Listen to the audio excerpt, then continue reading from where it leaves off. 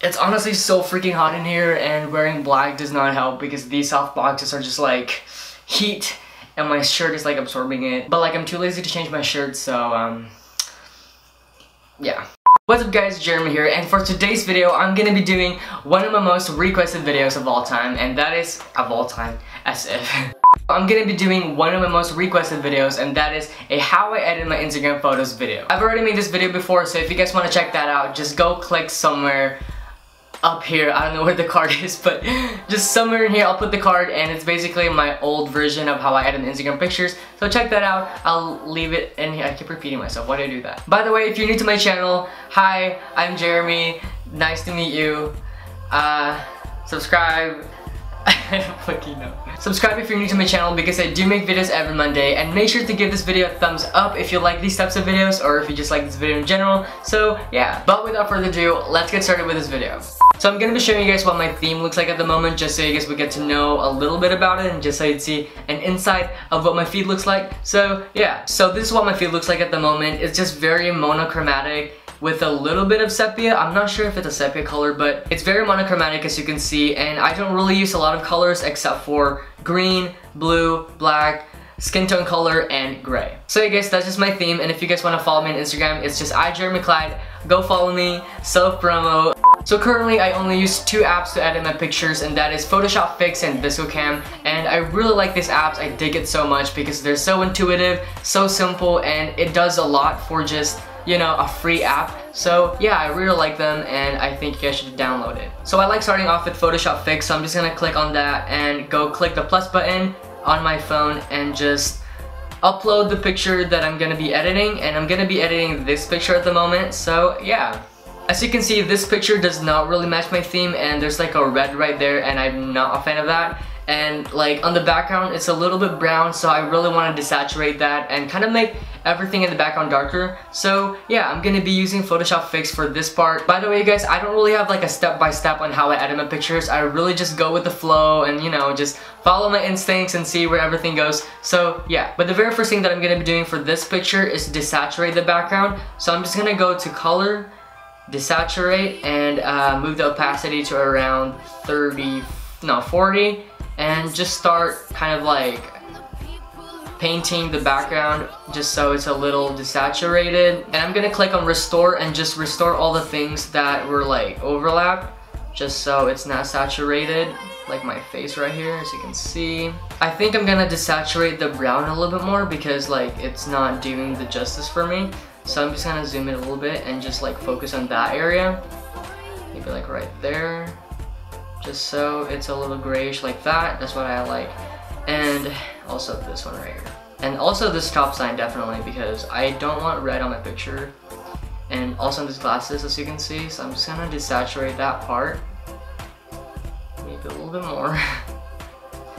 and so yeah, there you go. I really like how it's laid out at the moment. You can't really see any pop-up colors like the stop sign is now gray. So that's what I like. And yeah, I think I'm satisfied with this. I'm just gonna click the check button. And the next thing that I do is I go to adjust. And I would always lower the shadows because I want to further enhance the blacks. So I'll probably move it to like about right here. And then if that's not enough for me, I usually go to contrast and also increase it just so it would make it a little bit more darker. So like that. And the thing about when I do this is that it like higher the saturation. So I will click on the saturation, drop that a little bit, not a little bit, probably like a lot. but um, so like about right there. I think that's pretty good. So yeah, that's what I usually do on this adjust area. And I'm just gonna click on the check button because I'm done. And that's pretty much what I do in Photoshop Fix, but I feel like for this picture, I want a darker I want to darken the background a little bit more because I don't know, I just feel like it's too light for my theme. So what I will do is go click on light, click on darken, and probably do 40 again for the uh, opacity. And I would just start, you know, painting the background and just making it darker. And don't worry if you painted like things that you didn't want to paint, you can always click on the restore button and you can just like start um, restoring, restoring, restoring, I don't know how to say that word but you just start like erasing. What am I saying? Basically what I'm trying to say is that you can just like kind of remove the things that you didn't want to darken in the first place. So yeah, just like that. You will definitely need a lot of patience for this, but I mean, if you don't mind that, you're good. And it doesn't have to be perfect as well because if you zoom out, like I said a while ago, it doesn't really become noticeable. But I'm a perfectionist sometimes, so I have to like do it. Alright, I think that's good, so I'm just gonna click the check button again.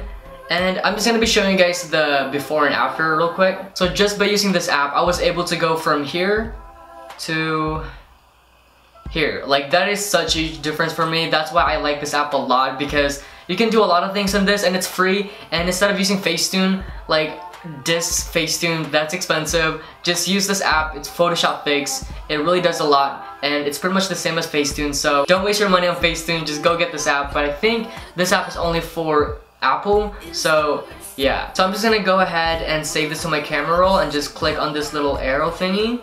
Save to my camera roll and we are done. Well, not quite. We're gonna go to VSCO Cam real quick, click the plus button, click the picture you just edited, click check, and click this little adjustment button thingy.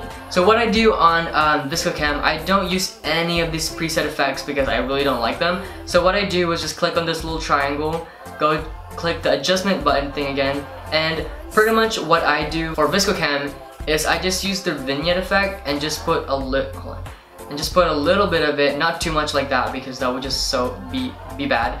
But um, let's just go maybe to about like right there because I don't want it to be too dark and then just click the check button. And then I also like adding grain to it because I really like the effect that it makes.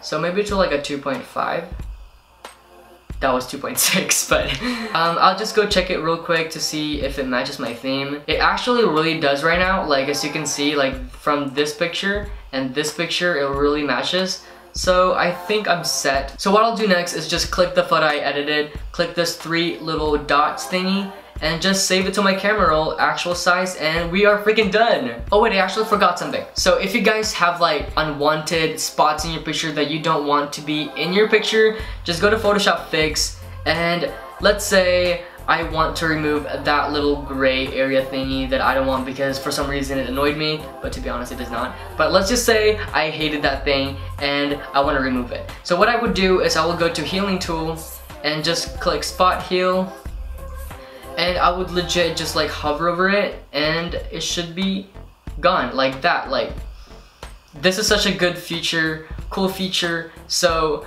I would suggest to use it and let's say I don't know I want to remove this little freaking white thingy. And yeah, that's pretty much a little tip, I guess, that I forgot to mention to you guys. So yeah. But yeah guys, that's pretty much it and I'll just put like a little before and after on this side just so you guys would see the difference. So yeah. But yeah guys, that's pretty much it for my how I edit my Instagram pictures video. I hope you guys liked it. It was pretty simple and I only used two apps and I love those apps a lot, Photoshop Fix and VSCO Cam because they're very intuitive, they're very simple to use and you can honestly do a lot of things on the app so that's what I really like. If you guys like this video, please give this video a big thumbs up and comment down below your Instagram usernames because I would love to check you guys' accounts. So yeah, but other than that, I will see you guys next Monday.